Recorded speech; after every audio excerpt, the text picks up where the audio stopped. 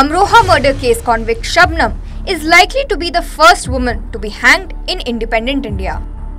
Shabnam was convicted for killing seven members of her family with her lover Saleem in UP's Amroha. In 2008, Shabnam had mixed sedatives in milk and later hacked her family members to death at night.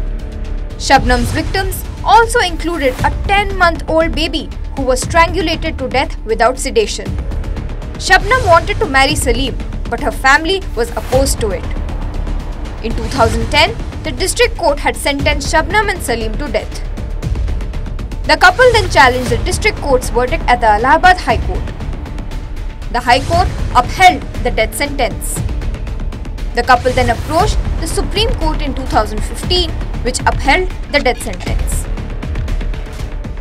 जेठ थे जिठानी थी दो बेटे थे बहू थी एक हमारी नंद की लड़की थी।